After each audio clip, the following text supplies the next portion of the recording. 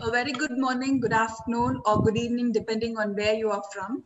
I welcome you all to the session two of day one on critical thinking, a pedagogical perspective of the seven day online international faculty development program on language and literature, a pragmatic approach, organized by the Department of English of VET Institute of Arts and Science, Erode. I welcome our principal, Dr. Saravanan R., also the patron of the program, Dr. Shakila Matthew, Dean Academics, Head Department of English and convener of the program, Mr. Logesh Kumar S., Administrative Officer, members of the Faculty of English from VET Institute of Arts and Science, Erode, and the teaching fraternity of English language and literature from around the world to the session. A dream for a student truly begins when a teacher believes in him or her. Today's resource person, Dr. Yuvaraj A., not only helps students dream, but also helps in synthesizing their dream into a reality by teaching beyond the classroom. Dr. Yuvaraj is an assistant professor of English in Government Thirumagal Mills College, Gudiyattam, Vellore. He did his undergraduation in Presidency College, Chennai, and his post-graduation and Master of Philosophy in the University of Madras, Chennai. His astonishing order in research led him to earn his doctorate from Anna University, Chennai. His areas of expertise include learning language literature, child language learning, bilingualism, and teacher education. His enchanting career in academia sprawls over two decades of rich teaching and research experience in various prestigious institutions. The wisdom that he has gained through this observing career is reflected in his presentations in national and international conferences and publication of research papers in refereed national and international journals. His painstaking effort in organizing various workshops, seminars, and training programs for the comprehensive development of the academic fraternity reflects his unswerving commitment to the passion teaching. Sir, we request you to enlighten the participants through your session on critical thinking, a pedagogical perspective. Thank you, madam, for the wonderful introduction. At the outset, I would like to thank the management, the dean, principal, and the faculty members of the English department for the wonderful opportunity.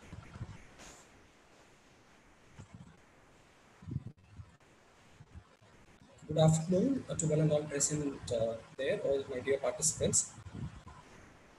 I would like to start my presentation on uh, critical thinking, a pedagogical perspective. And Sir, before can you that, a little louder if I'm interrupting you? A little louder, yeah, sir. Is it, is it okay, ma'am? Now, is it better yeah, now? Yes, sir. Perfect, sir. Thank you, sir. Yeah, thank you. So I thought I would just uh, take a look at this particular word, thinking. We have critical thinking. I thought I would just take this word, thinking, and uh, take all of you on a trip down memory lane to our classrooms, all of us, to our classrooms, either in school or in college. Yes, our teachers would have definitely asked us questions, and uh, sometimes we would have answered, sometimes we would have answered correctly, sometimes the answer would not have been correct. And then the response from the teacher definitely would have been, why don't you think? Think and answer. Yes, this experience, I think almost all of us definitely would have had either in school or in college. And uh, another context which uh, comes to my mind is a, a sort of a, a, personal one. Assume your friend comes and tells uh, you, I'm planning to quit my uh, uh, this particular uh, profession, for example, teaching, and I'm much I'm really interested now in writing or in journalism. What would be our answer? Our answer would be yes, go ahead, but think a million times. Definitely, we'll say think a million times. So, thinking is part and parcel of us. All of us think and that is why I think all of us are here right now. And now the, the first word that is critical. So this word again reminds me of uh, uh, uh, the question paper. I think uh, this particular word critical is one of the favorite words of, uh, of any question paper setup. So this again reminds me of my uh, school as well as college days, especially your uh, English question paper, the word critical definitely appears. I think even now it appears in almost all English question papers if you take a look at it. Critically uh, analyze Wordsworth's daffodils or attempt a critical appreciation of the poem La Belle Dame Sans Merci. Fine. So appreciating itself is a problem. So then where is the question of critically appreciating? Okay, as, uh, as a student, I used to, uh, I, I, never used to think about it because whatever the question is, whether it is critically appreciate or whether it is substantiate or whether it is analyze, the answer was the same. Maybe uh, that have been the case for almost most of us, ex excluding a few of them who really understood what exactly the, uh, uh, the, the question paper setter means by the word critical thinking. So these are the thoughts that just came to my mind when I was uh, sort of thinking, or I would say pondering on these two uh, uh, words, critical thinking. And with that, I would like to move on to the first slide.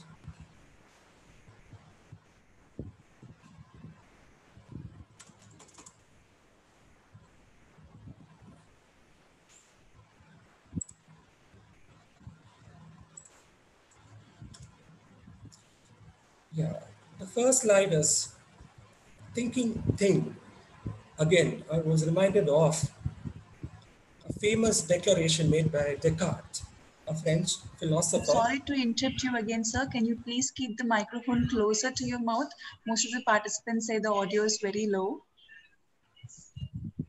I'm just keeping it very close, ma'am. Like I'm keeping it very close. In fact, uh, okay, is it better now? Is it, is it better now, or uh, can you just give me a minute? Shall I change my microphone and I'll, uh, I mean, try, yes, or? sir. Yes, sir. We'll, just we'll, we'll take a minute. Yes. Just a second. Just a minute.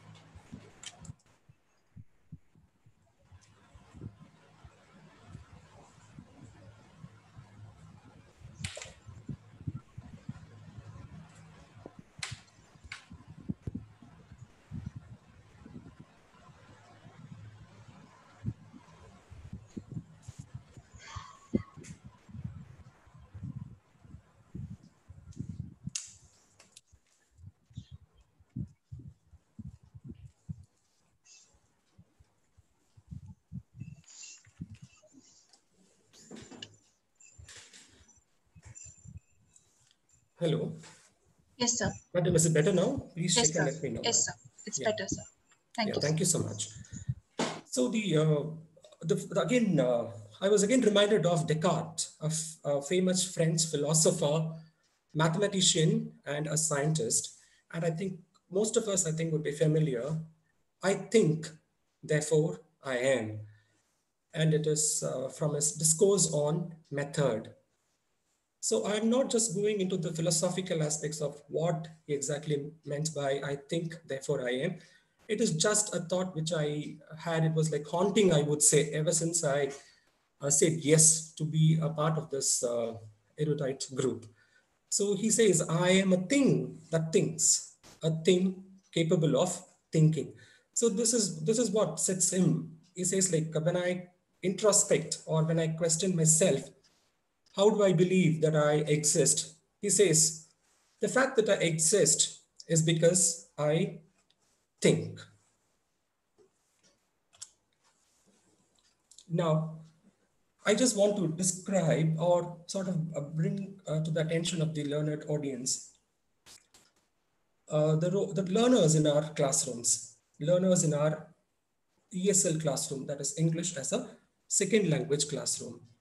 So we all know that they come from underserved communities. So they come from uh, socio-economically backward uh, commune, I mean, families. And uh, just to remind you, I'm teaching in a government arts college for the past five years. And so my presentation would largely focus on them. There would be some participants, some professors who might be teaching in a different uh, setup. And I think they can, to a large extent, relate to this. So uh, these learners in an English classroom, in an English second language classroom, they share certain commonalities or what we call the common, uh, I would say traits, but there are certain things which are common in them. So that's what I have listed out. that is high anxiety and low self-perception. So that is quite obvious. You know, they have a lot of anxiety and uh, and they have a low self-concept. So that is what, I, which I, I think in this, the slide you can see. What do I mean by uh, self-concept? It is how an individual views himself or herself based on their habits, on their temperament, on their skills. They have a very lower self-concept or self-efficacy, which to an extent or to a large extent uh, make, the, make these learners unsure of their learning skills. They are not very sure of their learning skills. What have I learned? Because I think uh, as teachers in uh, higher education, definitely, you know, when they come to the first year, we find them that uh, they they have got a pass in their higher secondary, but uh, do they possess the requisite skills, the necessary skills which they ought to have uh, possessed? It's a debatable topic. Again, why, uh, uh, what is the reason for their anxiety again when they step into the portals of higher education or even at the school level, tests and assessments? Yes, test related anxiety plays a major role or a significant role. So even right now, my students call me up and ask me, do we have end semester exams? Because now we are not very sure whether we have end semester exams or not because we are just waiting for the instructions from the government. So students, uh, they just want that kind of uh, an answer, uh, yes or no, do we have exams or do we don't have exams? Because for them, exams and marks and grades play an important role. It is not because it's not their fault. It is, as we all know, our uh, uh, educational setup is largely marks based. And uh, we all know again, how much of importance is given to grades. Again, do we uh, uh, do we give utmost importance to the skills or the knowledge they have uh, acquired or the uh, actual marks they have scored in the end semester examination or in their uh, school leaving certificate or whatever it is. So these are the commonalities which we find in almost 90% of our learners in higher education, barring a few. So I think I just made a reference. There will be teachers or professors who are working in uh, universities wherein they might have to uh, interact with learners who, uh, who do not share these uh, aspects, but I'm pretty sure that uh, maybe the percentage is more here there, it could have been uh, sort of less. For example, I mean, even in, in top rated uh, universities, say 60 to 70% of them are from, uh, uh, I mean, the, the learning skills are very good. Even there, I think 20 to 30% of the learners need our help. Yeah. So now the important question of, uh, do learners ask questions so the, the most important aspect of critical thinking, so I would sort of relate to critical thinking. So we need to ask ourselves the question, do my, I mean, is, I mean, is my learner capable of asking questions? Not capable in the sense I'm not uh, speaking in a very, uh, in, a, in, a, in, a, in a different sense, you know, they are really capable, but I'm asking, do they muster courage to ask questions in the classroom? Most of them I mean, it's I'm talking based on my experience. No, except for a few, and that too we have to do a lot of uh, convincing. We have to coax them. We have to persuade them. You have to. I mean, sometimes we do a lot of uh, things, you know, to make my learner open his mouth and ask a question. So this is what happens generally, and what are the reasons again when we uh, think of uh, first uh, what came to my mind was is the disengaged learning environment so when I say learning environment, it need not be only the school or the college. It is even at home. So uh, in this uh, context, I'm reminded of uh, Professor M.L. Tickoo's uh, article in which he talks about uh, language uh, poor acquisition environments. He says, majority of our learners come from language acquisition poor environment. So what do I mean by that? They don't have a language uh, in this in this situation. It is like uh, in this context, it is English. there is no opportunity for the learners to pick up language. So we all know acquisition is picking up language.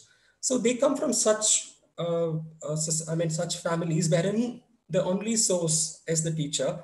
There is no other academic support, either the father or the mother, I don't know to what extent they'll be educated. Will they be in a position to clarify their doubts? And uh, do they have access to newspapers? Do they have access to technology? All these are debatable questions. Again, learning environment in college, is it really engaging? Are the learners really interested in the process of learning? To what extent am I engaging my learners? And uh, the next uh, point which I have listed out there is, uh, it is the learner's perception, it is not my observation. They generally think teachers are more demanding. So I'm listing out the reasons why learners never ask questions in the classroom, which again is very important. Why I'm talking about asking questions, because the first and foremost uh, important quality a learner should possess is to ask questions. Only then we can move on to the next level of uh, making him uh, critically uh, analyze a situation or uh, apply all those critical evaluation skills or critical thinking skills as we call it right now. So another uh, reason why learners are sort of reticent or inhibited or they never ask questions is the fear of getting ridiculed. That's quite uh, obvious. Uh, the, uh, the, the peers the learner is worried about his peers. What if I ask something, if I say something, or if I ask a question, and if it's not an appropriate question, what would be the reaction of the teacher? And more than that, he's worried about his friends or peers in the classroom. And again, in our system of education, the focus is more on learners' weaknesses rather than on the strengths. Because as teachers, I think uh, that I mean that I mean I'm talking about I'm talking in general sometimes, I mean, we focus on the weakness of the learner and not on the strengths. Uh, uh, just to give an example, while marking answers in the end semester, I mean, in the unit, uh, unit test or in the end semester examinations, we just sometimes we nitpick, we just find faults and we try to penalize them. Grammar mistakes, yes, there are spelling mistakes. So that again would demotivate a learner. He might think, okay, fine, what if I ask a question and if I if, will I be penalized by the teacher? That question definitely will be in his mind, in his or her mind. And then is the affective filter. And uh, one of the uh, hypotheses by uh, Stephen Krashen in his natural approach, he talks about the five different hypotheses. I'm not going to go at length. The, one of the hypotheses is the affective filter hypothesis, which says second language learners are generally inhibited they have their own anxiety. And if the affective filter is more, language learning is less. So this we can generalize even to any type of learning. So learning in the sense like if, the, if they are uh, anxious, if they are stressful, they cannot learn. Learning cannot happen. So the, the affective filter is more, learning is less. And if the, if the if the learner wants to learn, then he should be really an extrovert he should not be worried about the, I mean, uh, making mistakes or errors. And he has to understand, fine, what is the big deal? Even if I make a mistake or even my peers laugh at me, I just don't give that much of importance. And if he has that ability, if he has that mindset, yes, he will definitely ask questions and interact in the classroom. Now the focus is on teachers, uh, teaching. Yeah, one of the noble, noblest professions, definitely. Uh, now I'm going to uh, bring in uh, the, the, ideas uh, listed out, whatever points I've listed out are by uh, John Dewey, American philosopher. In his thinking in education, he lists out these important aspects. He reiterates the need for instructional methods that promote and test thinking so he says like, if you want your learners to think, if you want to learners, the next step is critical thinking. First, let's talk about thinking. So uh, then I thought I would just move on to the next, uh, uh, the, the, the, the, core aspect of my presentation is critical thinking. But thinking and critical thinking, yes, we have talked about thinking to make sense of what critical thinking is all about. So uh, John Dewey says, uh, reiterates the need for instructional methods that the way we teach should promote and uh, it should give opportunities for the learners to display their thinking ability, maybe in an informal way, not in a very formal uh, method.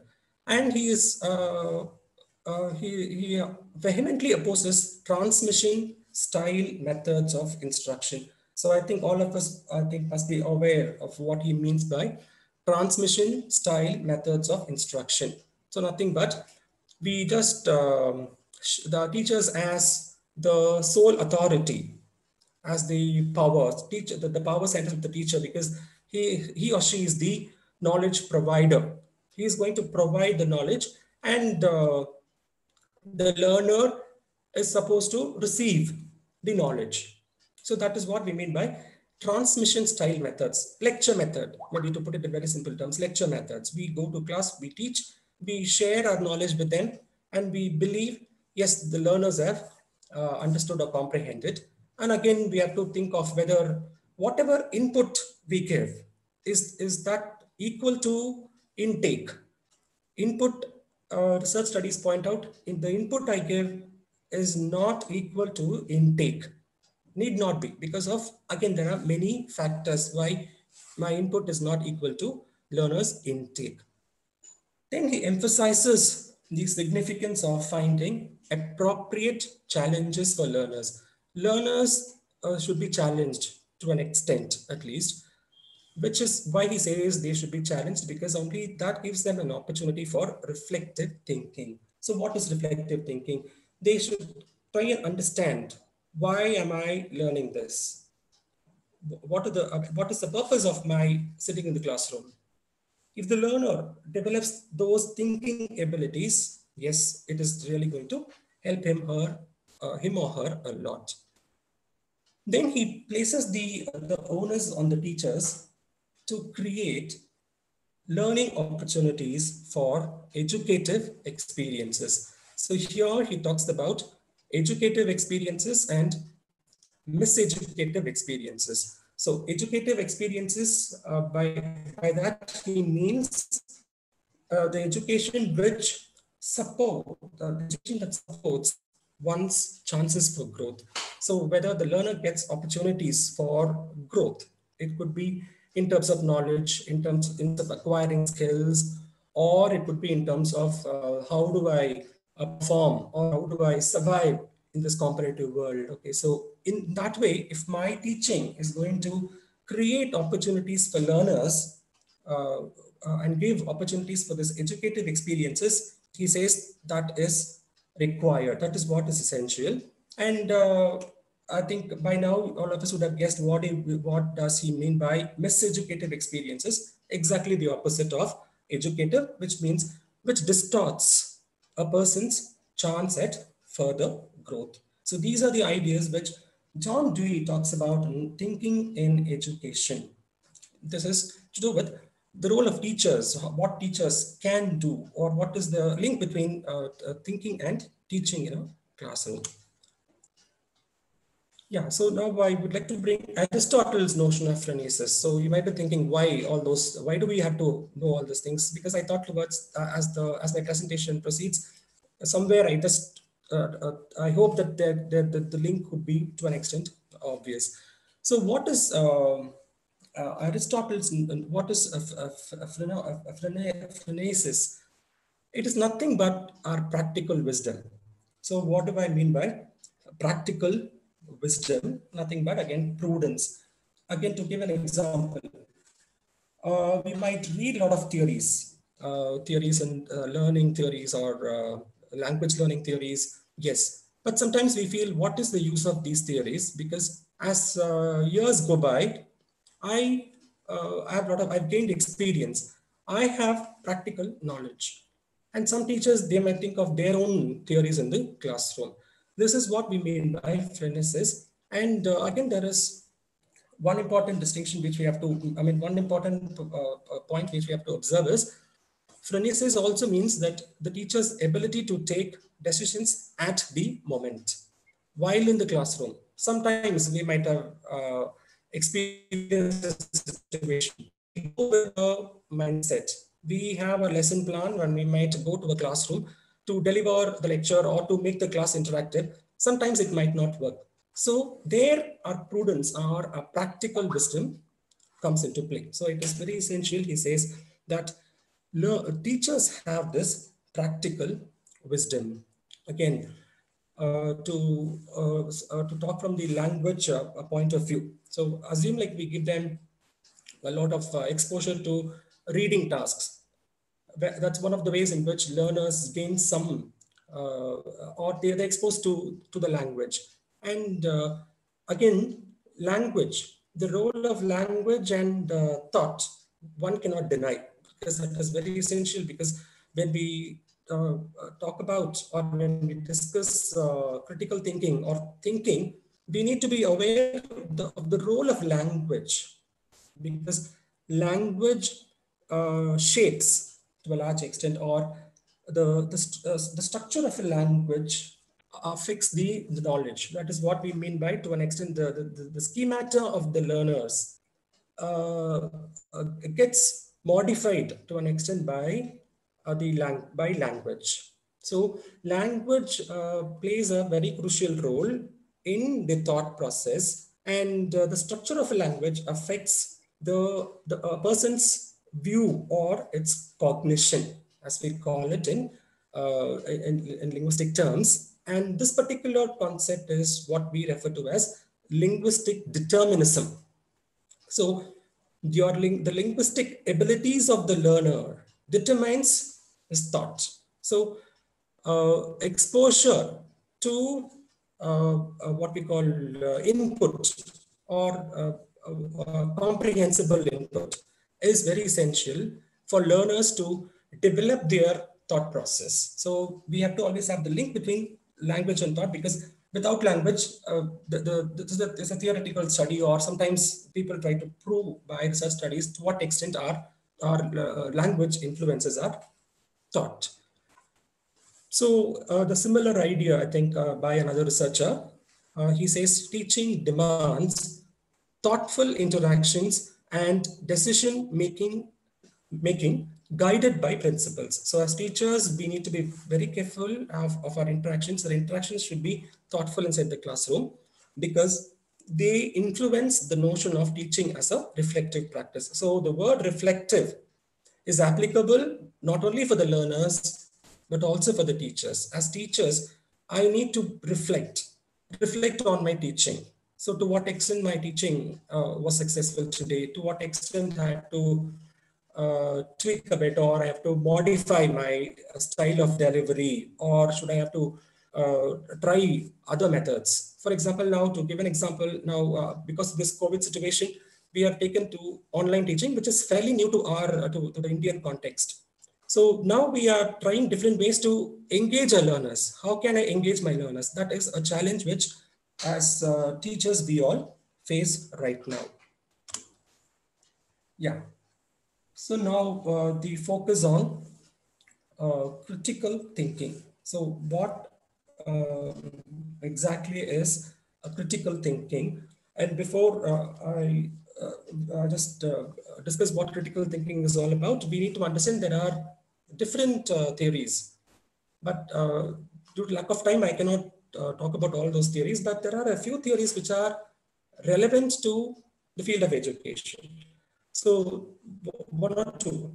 For example, At Atkinson, Atkinson's uh, model, it is not a theory, he proposed a model which uh, he calls it as cultural specificity model.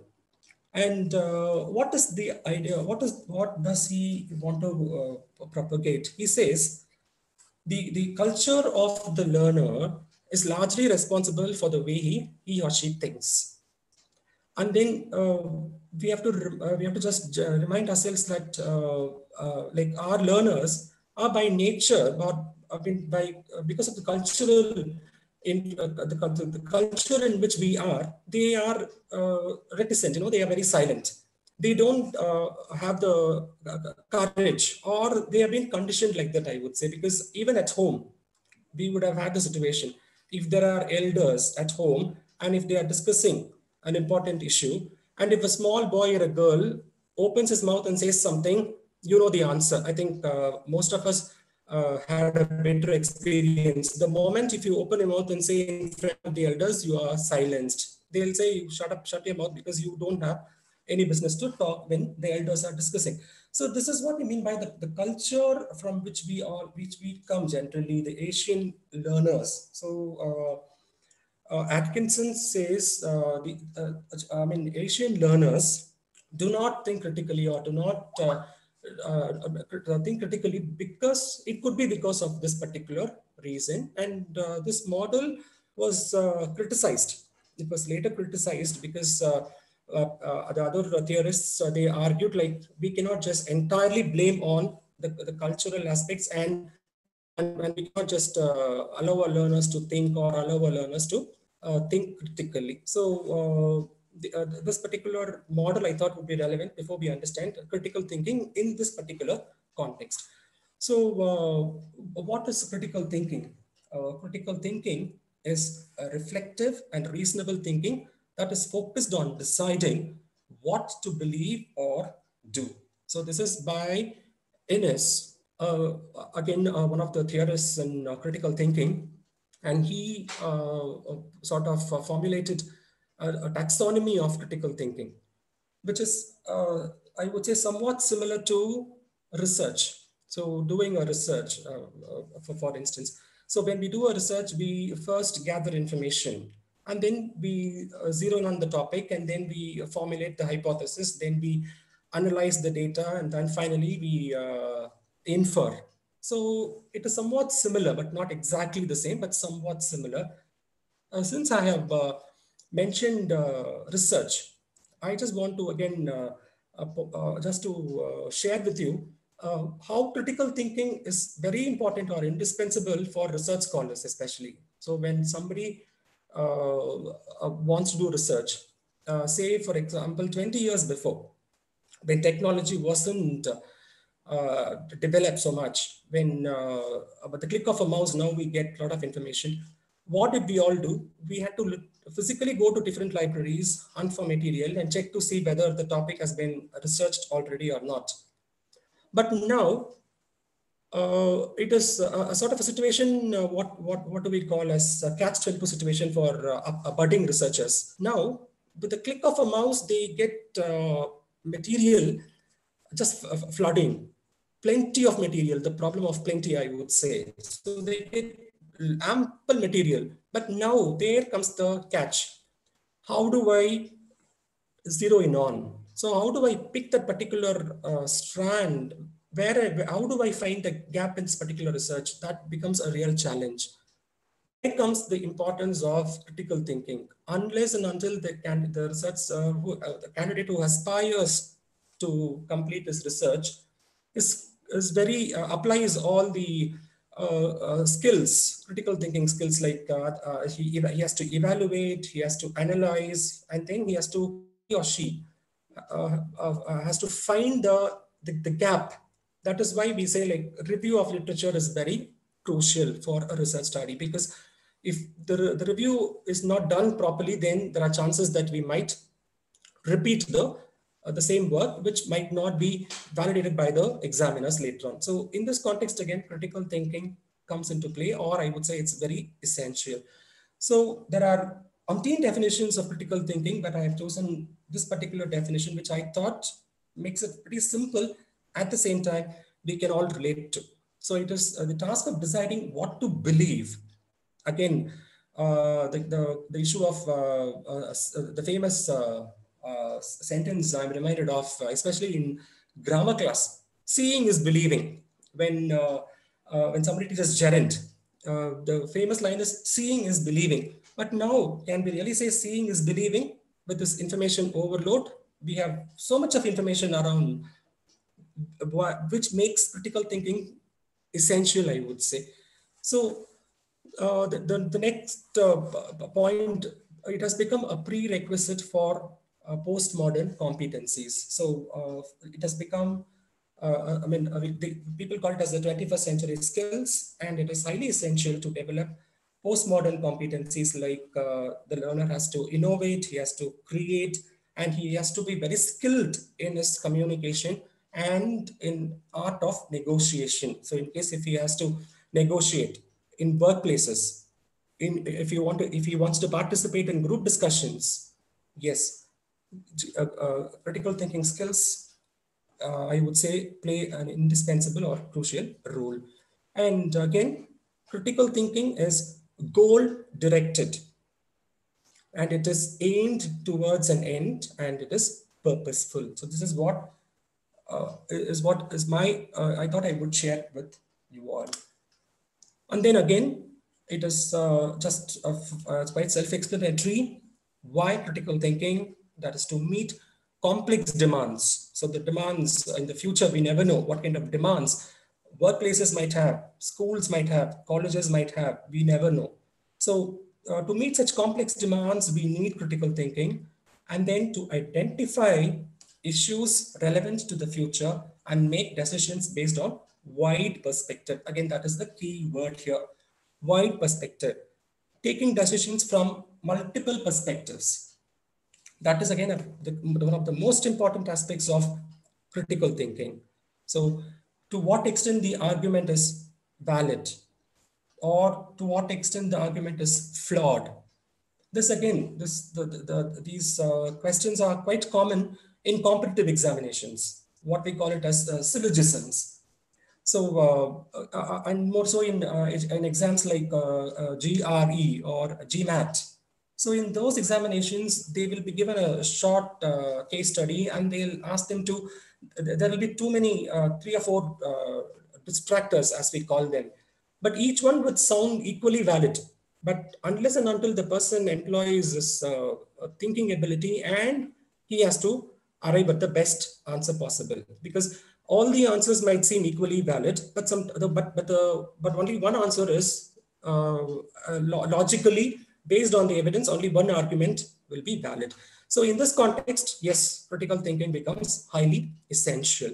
And then to respond to changing situations. Yes, uh, we are exactly facing the situation which is very uh, what we call transitory. We never know what's going to happen. A lot of uncertainty that is prevailing. So we need to learners and teachers. I think we need to equip ourselves in order to uh, face the challenges and which involves again a lot of thinking and uh, to be a reflective learner. I think I uh, mentioned what reflective learning is all about. So the question of how do we do this? We we have uh, we know okay, critical thinking is important in all these uh, in all these areas, and you name any domain, yes, critical thinking is very important. So how do we promote? And now, most important, uh, the most uh, uh, influential personality is a Brazilian uh, philosopher, Paulo Freire, who brought in the concept, who criticized the banking concept of education or the jug and mug approach to education. So he says, if you're going to still follow this banking concept, so again, banking concept is nothing but we are as though we are depositing our knowledge to our learners without giving the due importance to the learners' abilities, to, uh, without understanding that our learners can think. Or if you're going to follow the jug and mug approach, again, uh, the mind of the learner is a clean slate and uh, the, the, the, the, teacher is supposed to fill the mug. So that is what is the idea that what we call as tabula rasa. So if you're going to stick on to that particular method of teaching, then critical thinking, chances are very bleak, he says. And uh, he also advocates an approach which links learners to the environment in which learning takes place. Again, somewhat similar to Vygotsky's, uh, uh, I mean, theory of learning. So Vygotsky talks about uh, both Piaget and Vygotsky give equal importance to schemata, that is the knowledge structures. But Vygotsky differs from Piaget in this particular aspect. He says, if the learner's uh, schemata is to be modified or if the learners have to reach to the next level, it is essential that the learners interact. Interaction and uh, uh, the, uh, I mean, the, the, the, culture and the interaction, he says these both aspects play a crucial role in altering the schemata of the learner. So this is somewhat similar to Vygotsky's uh, approach. And he, again, he talks about uh, the zone of proximal development too. So then uh, uh, the next important point is he, he says we have to take into account the affective, moral, physical, and cognitive aspects of individuals. So these aspects need to be taken into account before we uh, uh, uh start this venture, before we, we, we think, okay, to, to uh, when we think of our learners, who my learners are. Okay. Now, so the, the ideas are borrowed from uh, a book by uh, Kumaravadivelu. Uh, I think it's Beyond Methods. Yes. So there he talks about the three strands of thought and uh, these three strands, strands of thought are to do with the role of the teacher. So from the historical perspective, he talks from the historical perspectives. So uh, perspective. So he uh, the first is the, I mean, there are three I have listed out or I have just borrowed, but the last one is uh, sort of central to the whole discussion. That is teachers as transformative intellectuals. Again, uh, the, I, this particular idea, I mean, was quite uh, influenced by Paulo Freire's uh, concept. But before that, I thought it would it would be you know it would make a lot of sense or it would be it would have this coherence if I talk about teachers as passive technicians, teachers as reflective practitioners, and then move on to teachers as transformative intellectuals. Yeah, so what do we mean by uh, teachers as passive technicians? So uh, he says uh, uh when, uh, when, we, uh, when we follow this particular approach, that is what we call as the technicist or transmission approach to teaching. So I think I've explained what is technicist or transmission approach. And uh, it is the traditional role we generally see. The role of the teacher is it's a traditional role which we see a teacher as one who transmits knowledge, which is prevalent even now in many many countries. And what they believe is that the, uh, the idea of a, a, group of professional experts or people who talk about who have those the theorists. The idea is theorists and teachers so the professional experts, they create and contribute to professional knowledge. They create knowledge. And uh, what is the role of the classroom teacher? Is to share the content knowledge. So I go to class and I share my knowledge and I get back. So this was uh, this, this is one of the approaches. We cannot say whether we cannot debate on this because it depends on the content which we teach, depends on the group of learners uh, whom we teach. This is one of the uh, roles or one of the approaches, I would say, wherein the, the, the teachers are viewed as passive technicians, but uh, uh, critical pedagogists, they point out that this, as time goes on, this, uh, this approach might become very passive and unchallenging because there is no interaction in the classroom. The excitement is lost. So he says uh, the teachers might lose that uh, excitement or the idea of going to class because your class will not throw surprises. That is what he says, uh, the, the, idea. So when I go to class and, and daily, if I faithfully go teach and share my content, what is the excitement there? So that might get lost. And it is also essential that we, we make an analysis in the current situation when learners have access to knowledge at the click of a mouse on any topic under the sun, if it is uh, American literature, be it phonetics or uh, whatever it is. By the click of a mouse, you have ample material. But then how do I uh, justify or how do I say that, yes, my role in the classroom is essential? That is what is the question raised by critical pedagogists.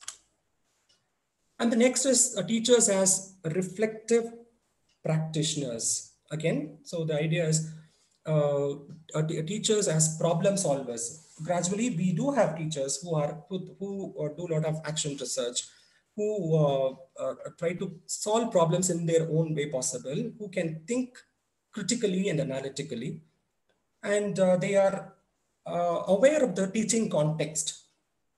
Again, the teaching context in which we work is ultimately important. That is what, again, when we talk about the uh, the, uh, the communicative methods of teach uh, methods of teaching and learning or activity based learning uh, sometimes you know people uh, are quite skeptical of the whole idea because we have to ask ourselves is my teaching context relevant is it relevant for me to try out all these things. But again, it is not against one particular methodology. All methods uh, are equally relevant. But the question is, uh, uh, we have to analyze the teaching context and then act accordingly. That is what is the idea. So uh, we need to be aware of the teaching context and take action grounded in intellectual thought. And then the, uh, the, the issue of uh, reflection and the, the points are reflection on action and reflection in action. Nothing but when when we uh, devise a lesson plan or when we uh, when we uh, plan for our lesson uh, uh, plan how to deliver our lesson sometimes we after the class we come and we'll reflect on that.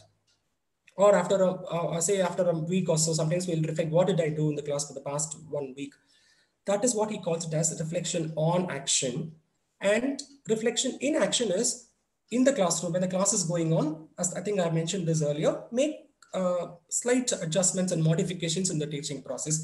And this is uh, referred to as pedagogical tact.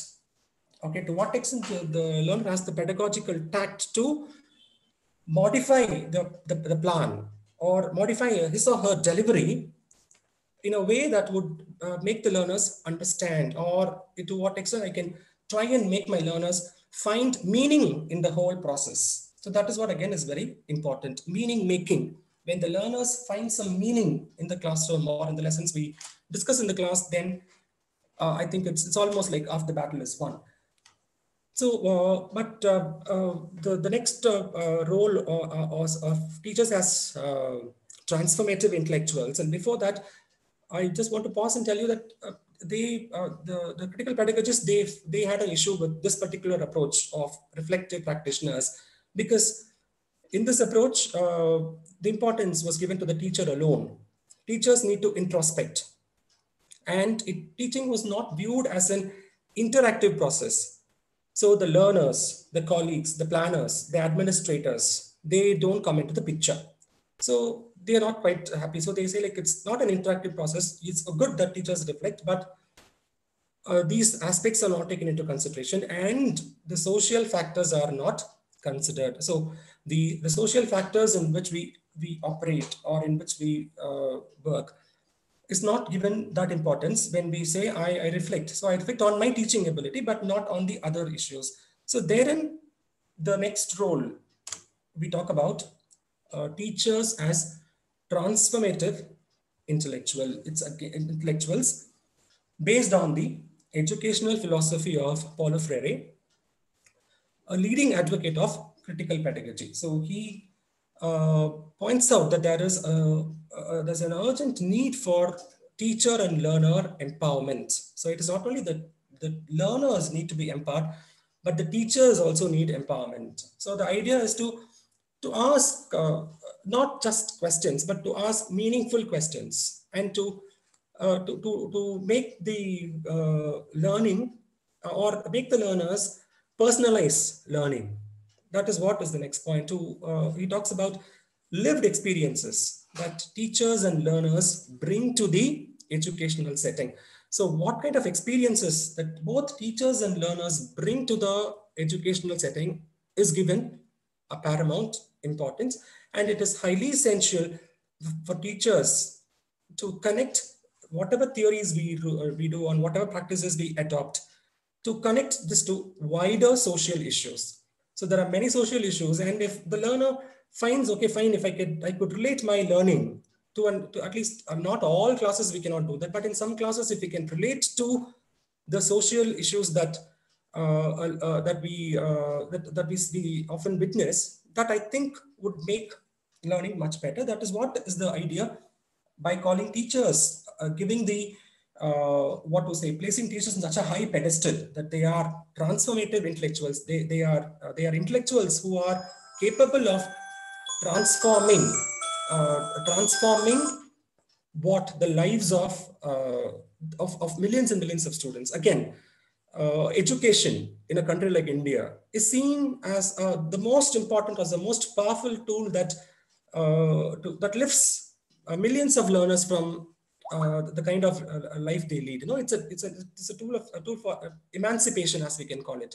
It's the only hope that the, the learners have such the learners who come from such underserved communities. So he says it is it's, it's uh, essential that teachers, uh, you know, make this kind of you know take this particular role and uh, try try and change uh, the learners. One uh, the, the, the I mean to knowledge yes that is definitely there, but if they can try and connect pedagogical theory and practice to wider social issues, that would largely benefit the uh, learners. So what is the task at hand? Again, the, the, the I mean, he sort of reiterates, he says like, teachers need to strive for educational advancement. That is, that I think almost all of us do. And uh, uh, we, we just want the learners to uh, score pretty well in the examination. They want to, they want to learn, we want the learners to learn and equip. Exactly, that's very true. But plus he says we, it's, it's essential that as teachers we, we also have to take a look or give some importance or give equal importance to personal transformation. So uh, what can what can we do? We can focus more on their students, uh, on our students' needs, wants, and situations. So the situations and where they come from, and construct a curriculum and syllabi. But this particular uh, uh, point of view is again debatable because to what extent uh, do teachers have the liberty to uh, frame our own syllabus and to follow our own curriculum? Because I think in some institutes uh, the, I mean, the teachers are given that option. The teachers can offer a course and the learners, whoever is interested, they can choose that particular course as an elective and they can uh, uh study.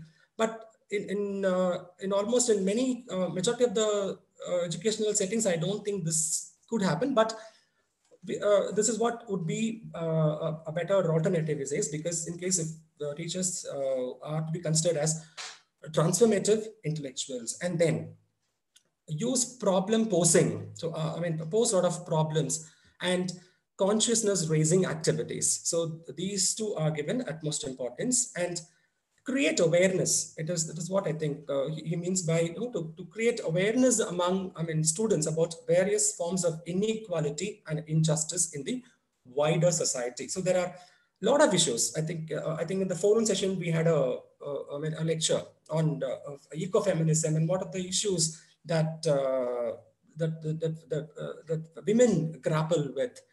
So these are uh, very essential when we uh, when we create awareness among us, our students to uh, to make them understand or make them aware of such issues which our society uh, grapples with, and then we need to try and address and address these issues and find solutions in peaceful and meaningful ways. That is the key word here. So it is not that we uh, we uh, we should encourage the students to uh, you know like to, to resort to other means, but to make them aware, to make them think, to make them reflect at the same time, create awareness and let them take a relook at some of the commonly held beliefs and assumptions and try and find some peaceful solutions and uh, in meaningful ways.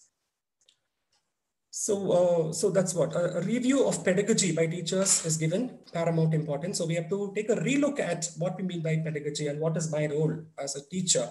That is what is one of the key ideas of critical pedagogies. And the role of a pedagogy is not just to enrich subject knowledge, but maximizing learning opportunities, which I think we, we, I, I, discussed.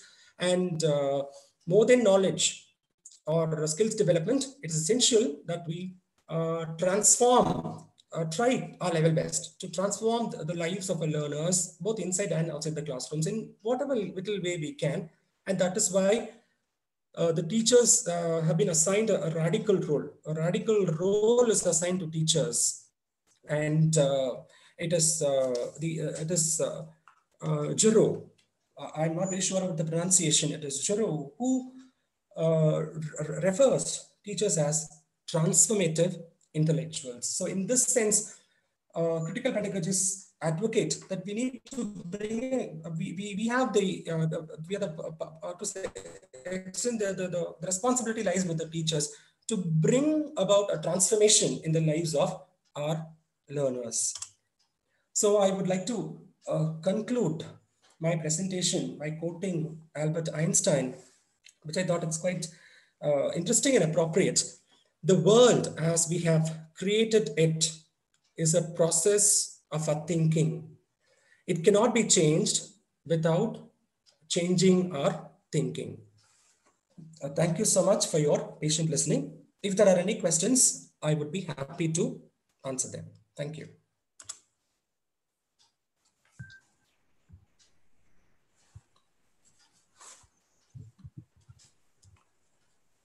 Thank you, sir. That was a wonderful session. I'll now post select questions from the audience.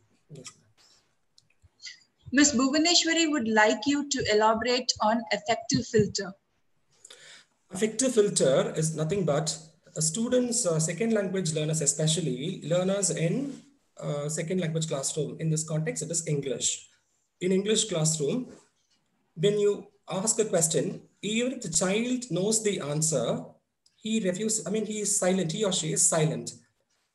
Why? Because he has anxiety, or he or she in this context, uh, inhibition, and that fear, a stress. So why these are the factors which prevent at least I mean learners who want to take that effort to learn uh, to, to ask questions or to learn in an effective way. So affective filter is nothing but these uh, uh, factors. That's what Stephen Krashen talks mentions about affective filter. So if the affective filter is more, if the learner is inhibited, if he is uh, constantly reminded of making mistakes, if he says like, okay, if I uh, speak in the class, I will definitely make mistakes. Or if I write, my, my, my teacher wants me to write. And uh, uh, when I write, then I will definitely make a lot of errors in terms of grammar as well as in terms of uh, vocabulary, in terms of uh, sentence construction. Then he, he, what he does is he simply resorts to memory. He memorizes and he writes an answer and gets a pass. But then in a real life situation, when he is asked to write a letter, he finds it difficult. So, uh, I mean, uh, so this is what is we mean by affective filter. Affective filter is these external factors which prevent a learner from learning a language when the, uh, that's what the affective filter is more, then there is no learn language learning cannot happen.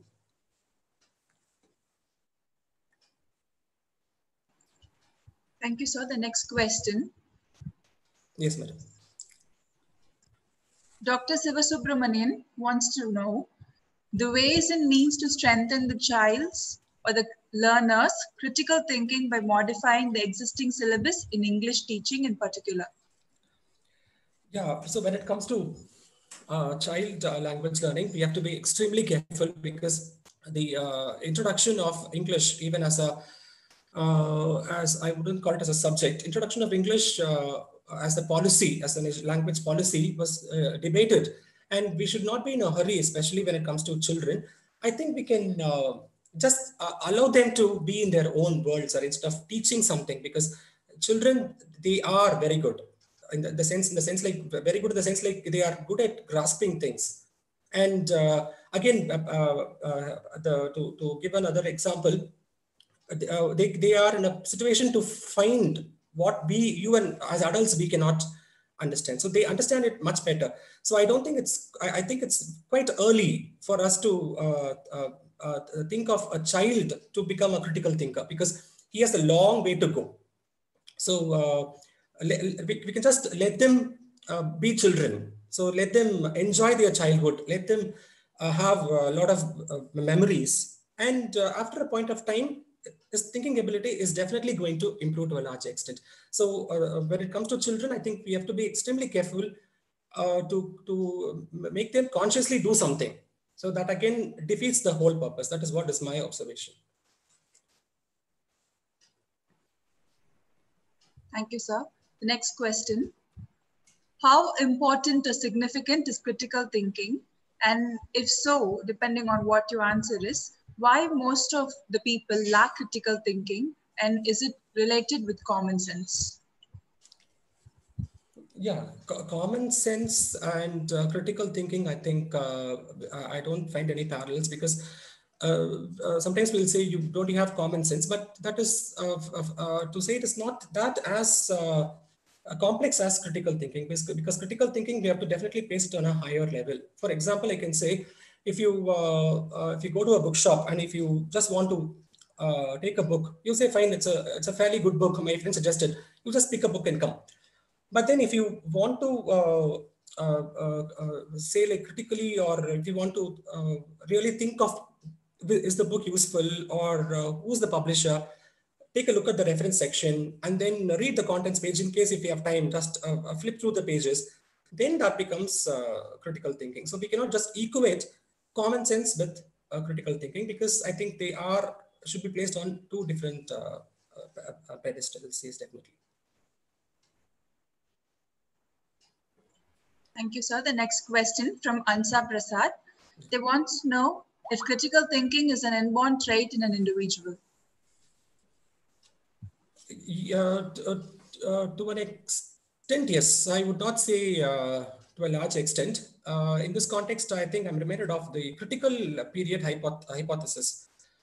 Uh, the CPH, as we call it in uh, linguistic terms, the critical period hypothesis says, because why I'm talking is critical think thinking and language, I told you, they are they play almost uh, uh, the, the, language ability of, the, of a child determines his thinking ability. So that's why I'm bringing this uh, theory of uh, CPH, that is critical period hypothesis. So the, uh, the, the, the, CPH researchers, what I think it's, it's Lenneberg, Lenneberg who was the first to introduce this approach or it's not an approach, it's an idea of CPH, critical period hypothesis. What he claims is there is a critical period for the child to learn a language. Uh, I think it's approximately till 10 or 12. Language learning happens best to a certain point. And beyond that, certain aspects of language cannot be mastered. So it is not that uh, all uh, aspects of language cannot be learned by uh, say a, a, person above 12 or 15, but he says there are certain aspects which cannot be uh, effectively learned, especially when it comes to the, the pronunciation. So pronunciation is one area where uh, uh, the, the, CPH has been proved, critical period hypothesis has been proved. And the, the brain loses its plasticity. That is what is another claim.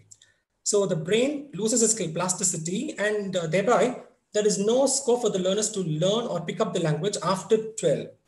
So they say it is it's better between, uh, uh, I mean, till 12, the window of opportunity, there's another, another term, the window of opportunity for language learning is, uh, uh is open. And till then, language learning or acquisition can definitely happen in a much uh, better manner.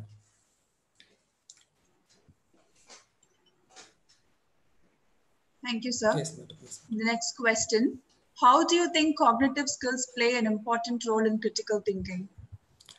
Yes, uh, cognitive uh, skills uh, uh play a crucial role in critical thinking because without the cognitive ability, I don't think uh, anybody can, uh, I mean, even, even at least think of critical thinking because your cognitive ability decides everything. So again, to, to, to, quote again the verbal deprivation theory, it talks about we, we, we, talk so much about second language learning, but uh, research studies point out that, uh, that it is essential that our, our learners should be uh, proficient in L1. So cognitive uh, the, the cognitive abilities need not be only with uh, when we uh, I mean it's not to do with second language or any language for the matter not I mean in this context it's English but he says the cognitive abilities of learners are not that developed some I mean not not all but research studies the, research is going on that their cognitive abilities are not fully developed.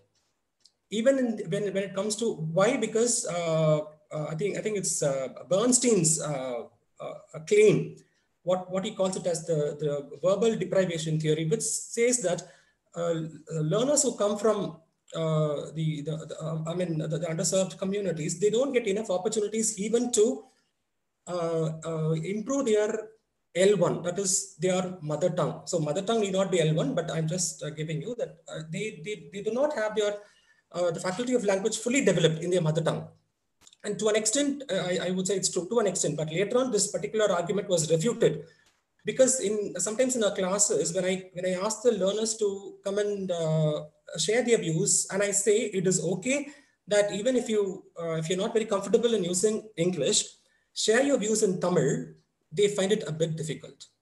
So which means the cognitive ability of learner, we're not questioning the cognitive ability, but it has to an extent, there is some relationship between the cognitive ability of the learner and uh, critical thinking because unless and until the cognitive ability of the learner is uh, modified to, a, to an extent, they cannot aspire to become critical thinkers. Thank you. So the next question.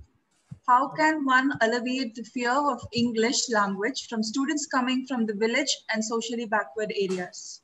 Yeah, the, the one and only answer would be uh, uh, give them the confidence.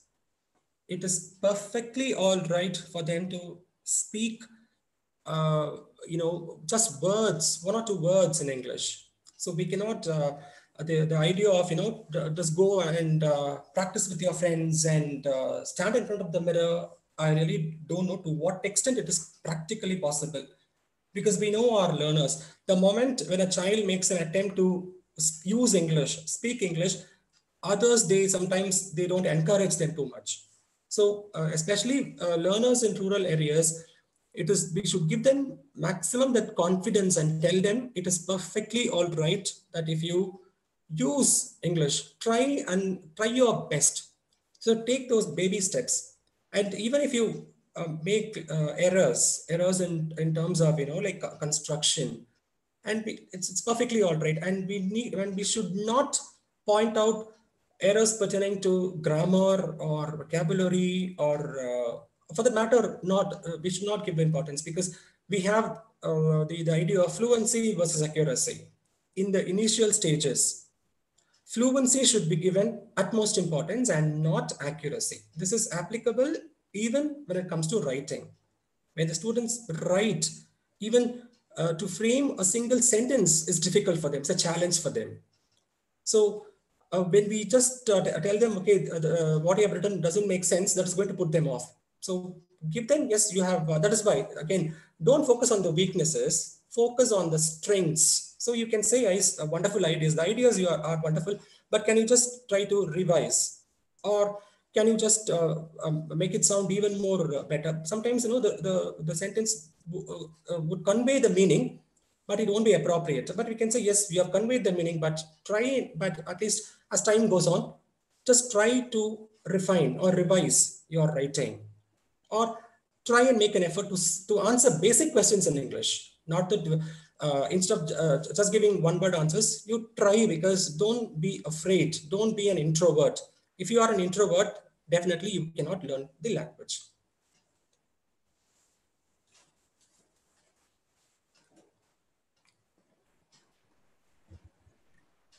Shalini Mukund would like you to elaborate on the jug and mug approach, sir. Yeah, a jug and mug approach is nothing but the teacher is uh, teacher's uh, jug is full. That is what he means by jug is the the teacher's uh, teacher has uh, knowledge overflowing, and the learner's mug is empty. So the idea is the teacher is supposed to transfer or uh, transfer the knowledge and uh, ensure that the mug is full. So this idea was, again, that's what this idea was questioned later on. It is nothing but, uh, it is somewhat similar, I would say, to the behaviorist idea of equating learners with just, uh, you know, like learners are, uh, are uh, uh, learning happens by rote memorization and repetition. So that is not the right approach. Later on, cognitivists, they refute it. So Jug and Mug, Mug approach is nothing but uh, viewing or uh, uh, or the teachers I mean, or the, the learner should not think that the, the, the, teacher, yes, the teacher is supposed to provide knowledge, but is not now the only source of knowledge. That is what is the idea here. It is not the teacher has the knowledge and uh, uh, coming to class only because the teacher will share knowledge, because beyond that, there are many things which learners can learn. That is what is jug and mug approach uh, to learning, which is quite outdated now. So it is it is not uh, currently in vogue, I would say. Yeah. Four more questions, sir. Yes. How can we relate critical and creative thinking? Yeah, so uh, uh, this is I, I think it's uh, the, the uh, it reminds me of uh, Bloom's taxonomy of the higher order thinking skills, which is which is like a critical think critical thinking skills, which means like the learners the, the highest level I would say is creative thinking. So once the learner uh, possesses these uh, these skills of, for example, if the learner understands the concept and he starts uh, when he first remembers, then he understands, then he starts to apply, then he analyzes, then he evaluates. Then the highest uh, is the creative writing or to, to uh, creative creativity. So critical thinking, yes, in some ways it is definitely beneficial, but it depends on the uh, on the kind of writing we do because uh, creative writing, as per the traditional definition, you know, if you uh, say, I can just give an example. If somebody wants to write a, a, a poetry or a poem, which we know it's uh, a general definition is to an extent based on imagination, but it need not be.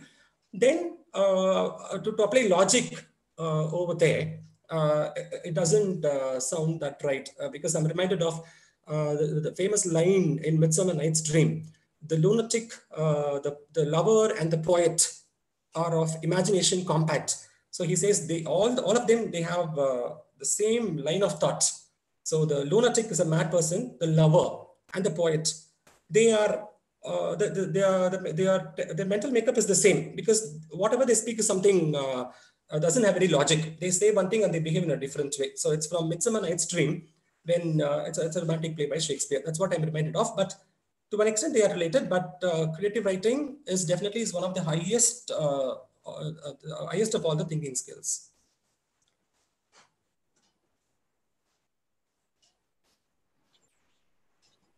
Thank you, sir. The next question from Tanish Power. Yeah. How can one differentiate critical thinking from lateral thinking? Yeah, critical thinking is, uh, yeah, as I told you, critical thinking is to, to evaluate a particular argument based on a lot of evidences and uh, a lot of uh, you know like uh, whether the whether the assumption whether it's an assumption whether it is a fact or whether it is an opinion. Whereas lateral thinking is thinking just out of the box. So when you think out of the box when you allow yourselves you know to think generating ideas that is lateral thinking. Whereas critical thinking we we are the, the, the objective or the, the, the, the, point here is like they have to evaluate, to make a judgment, to make sound judgment. That is the basic difference between lateral thinking and critical thinking.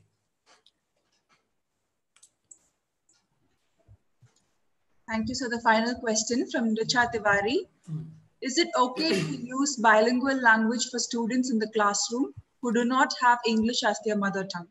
Yes, it's perfectly all right to use a bilingual approach in the classroom because after joining uh, Government Arts and Science College, I largely resort to the bilingual method of teaching.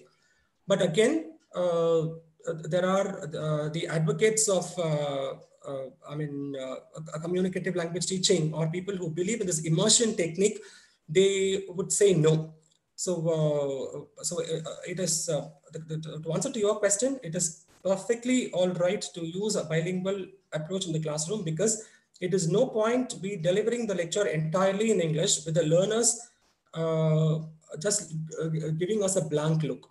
But again, uh, a word of caution, when the learner knows for sure that uh, the teacher is going to repeat or use uh, the regional language or uh, I mean, whatever may be the regional language, then uh, he or she might not take the effort to try and understand whatever, uh, even, even some basic words, he might simply switch off because he'll say, anyway, uh, the teacher is going to uh, translate the lecture again in Tamil. So uh, uh, sort of we need to balance it, I would say. So if the concept is really challenging, is if it's really difficult for you to get across to your learners, there's no harm in using a bilingual approach. Thank you. So there's another question I would like to pose. It's quite interesting. Yes. For that, we'll find the Q&A. How can one assess an individual who comes to an interview based on their critical thinking? Yeah, so uh, there are different uh, ways in which we can, uh, uh, I mean, make them, uh, I, I don't know, like in an interview context, it's a very limited time. So we cannot uh, ask them, uh, we cannot assess them on the critical thinking skills except for some questions like how would you uh, react to a situation or uh, uh, for, for example you can ask like for example in case if you're uh, uh, if you're, you're, working in a company and you know for sure that the decision which your manager has taken is not that appropriate you have a better solution how would you uh, put across to him? So how would you convince him? So because uh, again, uh, we again I read in, in in some journal I don't exactly remember wherein uh, we talk so much about critical thinking, but uh, when a person who joins uh, uh, newly joined, for example, I mean not newly joined, say for example, just five or five years before, and there's a meeting going on, and they're all other, others are there in in their who have put in 20 or 25 years of experience. Then this person wants to put across his views. Generally, it is not heard. His or her voice is not heard so we can ask this question. So in the situation, how would you think you can put across your views? How would you use your, uh, I mean, in, in what way do you think you can uh, uh, convince the, your, your manager or the management that the idea which you have will solve the problem? I think it's one of the ways in which we can uh, test the, uh, the thinking ability or the critical thinking ability of the prospective candidate.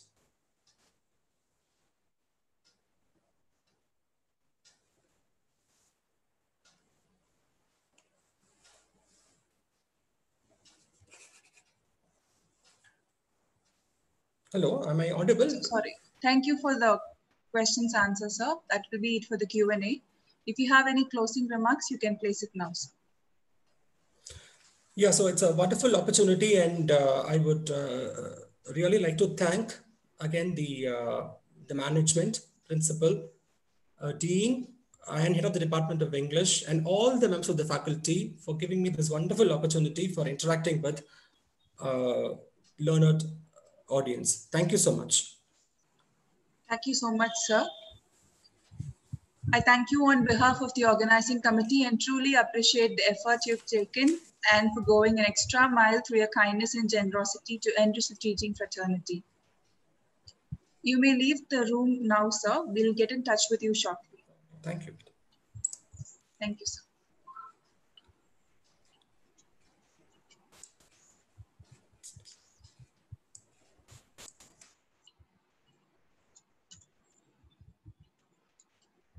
Now participants, the link to post your attendance and feedback form has been shared in the chat box.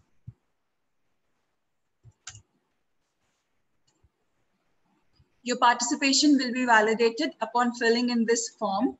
This link will be active until another 30 minutes. Kindly fill in before the time lapses.